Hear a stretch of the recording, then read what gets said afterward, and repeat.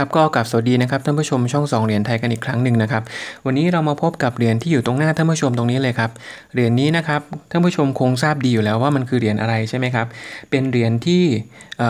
ท่านผู้ชมจำนวนมากในประเทศไทยนะครับเคยเห็นนะครับแล้วก็ท่านผู้ชมจำนวนมากอีกเช่นกันนะครับในประเทศเนี่ยนะครับ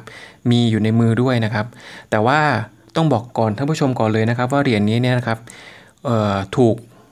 ทำปลอมมาตั้งแต่ปีประมาณ 2,500นะครับ เพราะฉะนั้นเนี่ยเป็นเหรียญที่ถูกทำปลอมมาตั้งแต่รุ่นปู่รุ่นย่านะครับ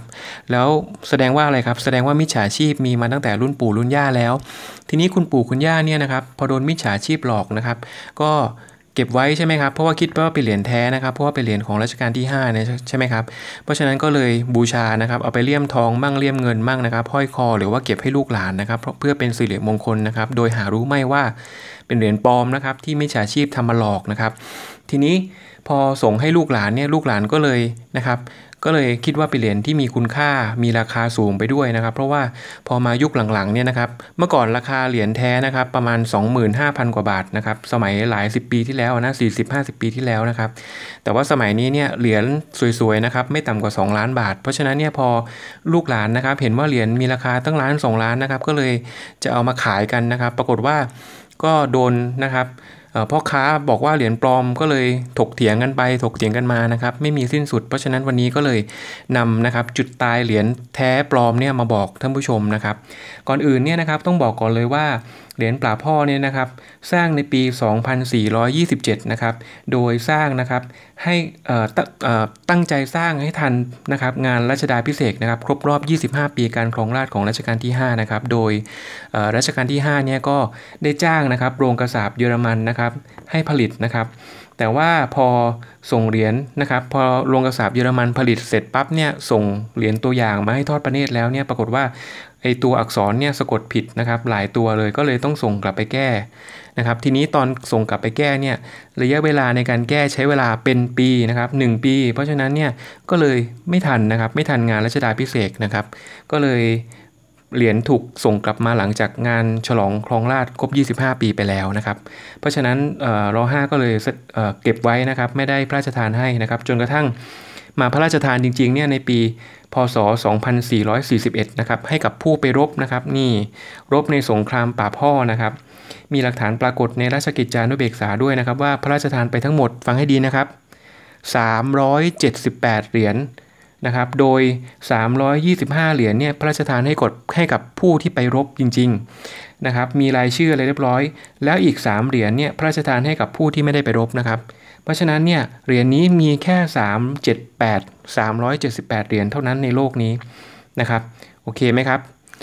เพราะฉะนั้นเนี่ยที่อยู่ตามแผงพระเป็นหมื่นเป็นแสนเป็นล้านเหรียญเนี่ยปลอมนะครับปลอมทั้งนั้นเลยนะครับเดี๋ยวจะบอกว่าปลอมยังไงนะครับ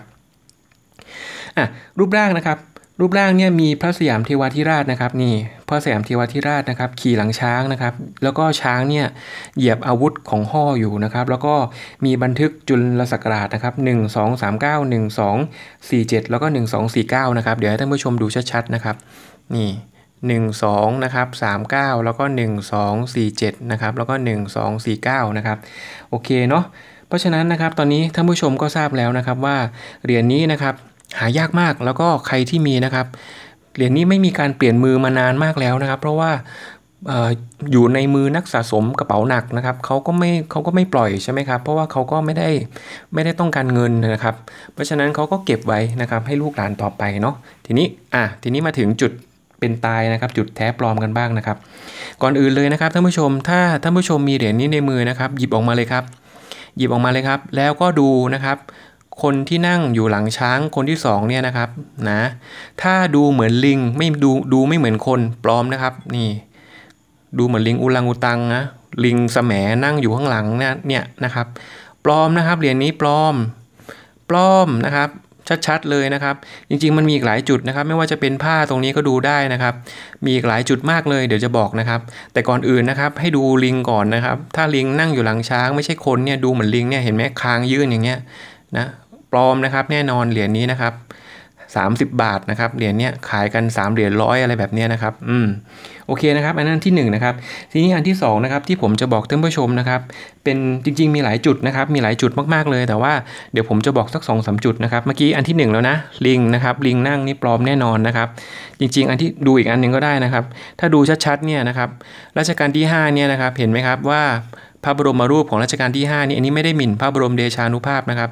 เหมือนกับคนอมโรคอะครับเนี่ยดูดูพระดูพระพักอะครับพระพักของแท้นะครับดวงตาดวงพระเนตรเนี่ยนะครับอ่อนช้อยทุกอย่างอ่อนช้อยหมดเลยนะครับ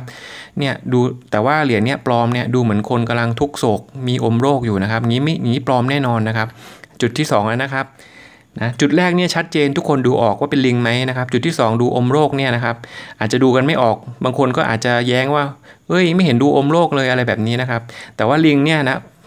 ปฏิเสธไม่ได้แน่นอนนะครับเนี่ยเห็นเป็นลิงปั๊บก็ต้องเป็นลิงนะครับ จะมาแย้งว่าเป็นคนไม่ได้นะเนี่ยนี่ลิงชัดๆนะครับอ่า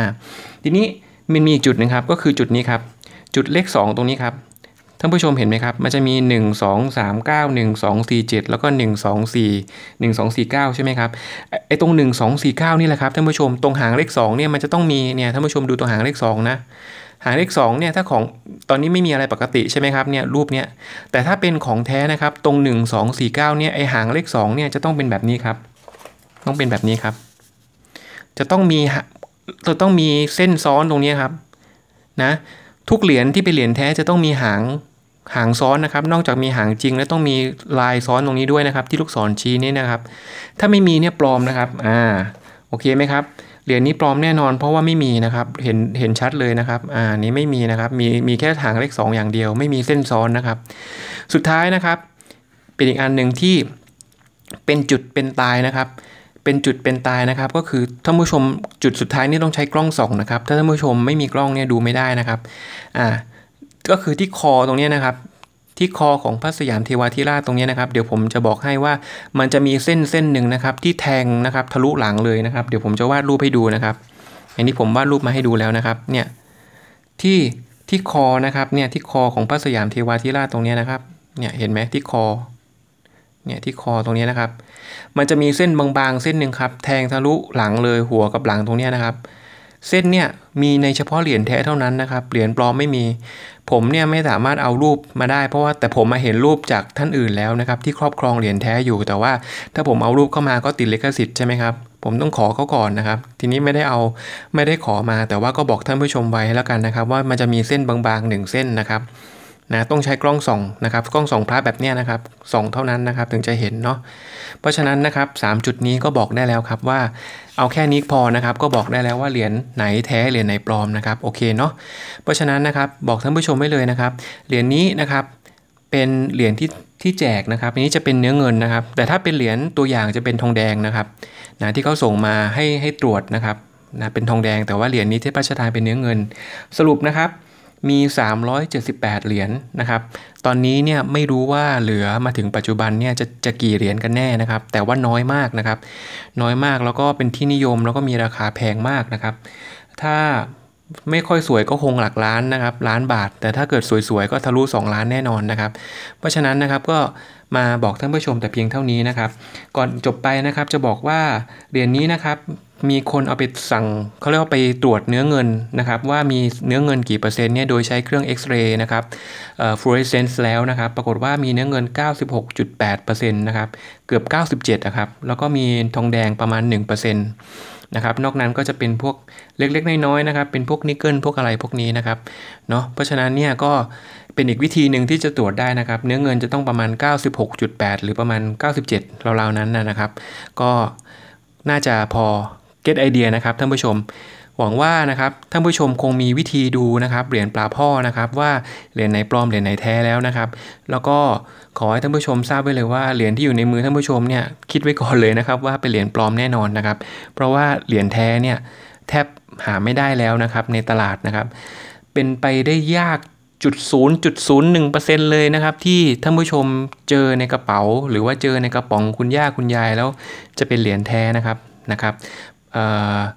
ถ้าใครเจอก็แจ็คพอตจริงๆนะครับ โอเคเนาะถ้างั้นก็สมควรแก่เวลาแล้วนะครับ เพราะฉะนั้นถ้าท่านผู้ชมคิดว่านะครับคลิปนี้นะครับมีประโยชน์นะครับอย่างน้อยๆเนี่ยนะครับไอ้ลิงนั่งหลังช้างเนี่ยเอาไปบอกคนอื่นได้เลยครับ รับประกันนะครับว่าปลอมนะครับแชร์ไปให้เขารู้เลยครับว่าเหรียญท่านอะแบบเนี้ยปลอมนะครับ โอเคเนาะแล้วก็ก็ ถ้าเห็นว่านะครับคลิปมีประโยชน์ก็ฝากนะครับท่านผู้ชมช่วยกดไลค์กดแชร์ออกไปนะครับ กด subscribe ให้ด้วยนะครับเผื่อว่าในอนาคตมีเหรียญแปลกๆ หรือว่ามีเหรียญที่มีค่ามีราคาเดี๋ยวจะนำมาเล่าให้ท่านผู้ชมฟังใหม่นะครับโอเคเนาะดังนั้นก็สมควรแก่เวลาแล้วครับ ขอขอบพระคุณมากครับที่รับฟังนะครับ ข้อมูลจากช่องสองเหรียญไทยของเราครับ สวัสดีครับ